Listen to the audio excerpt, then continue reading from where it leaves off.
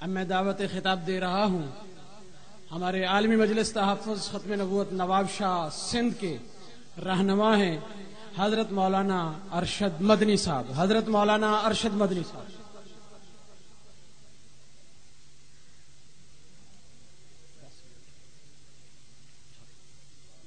الحمد لله الحمد لله وحده والصلاة والسلام على سيد الرسل والصلاة والسلام على سيد الرسل وخاتم الأنبياء.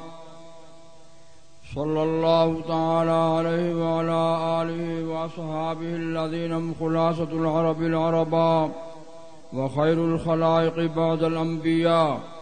أما بعد، فأعوذ بالله من الشيطان الرجيم. بسم الله الرحمن الرحيم.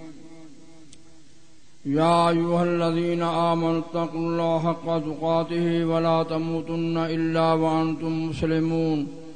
وقال النبي صلى الله عليه وسلم أنا خاتم الأنبياء وأنتم آخر الأمم. أو كما قال النبي صلى الله عليه وسلم محمد کی محبت دین حق کی شرط اول ہے۔ اسی میں ہو اگر خامی تو سب کچھ نام مکمل ہے۔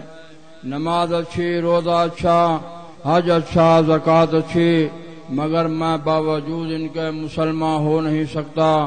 نہ جب تک کٹ مروں میں خواہ جائے عربی کی عزت پر خدا شاہد ہے، کامل میرا ایمان ہو نہیں سکتا۔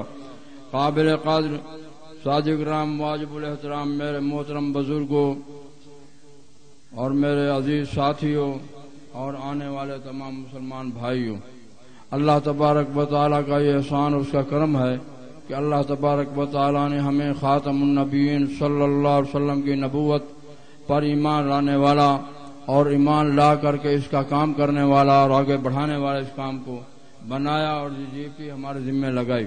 الحمدللہ اللہ تبارک و تعالیٰ قرآن مجید میں ارشاد فرماتے ہیں کن تم خیر امت خجت تامرون بالمعروف و تنہون المنکر، بہترین امت ہے۔ اس لیے کہ یہ اللہ تبارک و تعالیٰ کے ہر اچھے کام کو آگے بڑھاتی ہے اور برے کاموں کے لیے منع کرتی ہے۔ تو یہ ہمارا کام ہے۔ اللہ تبارک و تعالیٰ کی رضا کے لیے جناب رسول اللہ صلی اللہ علیہ وسلم کی ختم نبوت کا پرچار، آپ کی ختم رسالت کا پرچار، ایک ایک مسلمان کے دل میں اس کی عظمت کو بٹھانا، ایک ایک مسلمان کی زبان پر اور اس کے دماغ میں اس بات کو ڈالنا کہ ہم مسلمان ہیں، اس لیے ہماری ذمہ ہے یہ کام کہ پوری دنیا کے اندر اس بات کی اشاعت کریں اور پھیلا دیں اور بتا دیں کہ ہمارے پیارے نبی حضرت محمد صلی اللہ علیہ وسلم آخری نبی ہیں۔ آپ کے بعد قیامت تک کوئی نبی نہیں آئے گا۔ اور کوئی نبوت کا دعویٰ کرنے والوں نبوت کا دعویٰ کیا تو پہلے لوگوں میں مسلمان سربراہوں نے ایسے آدمیوں کو قتل کر دیا، ختم کر دیا، زندہ نہیں رہنے دیا۔ مگر یہ کیونکہ انگریز حکومت تھی، انگریز کا دور تھا۔ انگریز حکومت نے اس کو خوب اچھی طریقے سے اس کی آبیاری کی اور مرزا کو بڑھایا اور اس کی حفاظت کی اور اس کو چلایا۔ میرے بزرگوں دوستوں بھائیوں اس لیے مرزا بچ گیا اور آج تک یہ زندہ ہے۔ آج تک یہ چل رہا ہے۔ مگر ہم مسلمان انشاءاللہ جب تک زندہ ہیں، اللہ کے پیارے نبی حضرت محمد الرسول اللہ صلی اللہ علیہ وسلم کی ختم نبوت کے لیے اپنا وقت اپنا مال، اپنی جان، اپنی اولاد، سب کچھ، جو کچھ بھی ہمارے قبضے ہمارے اختیار میں ہے۔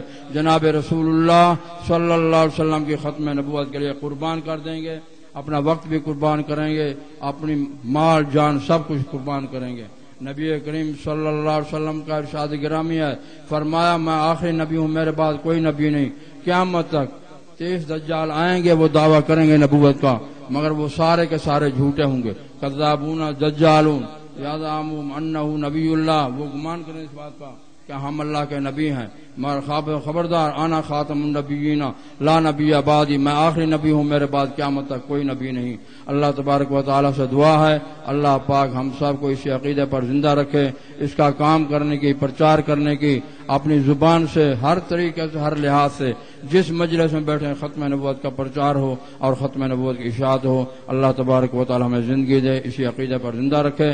موت آئے تو اللہ تبارک و تعالیٰ اسی عقیدے پر موت عطا فرمائے۔ وآخر دعوانا الحمد للہ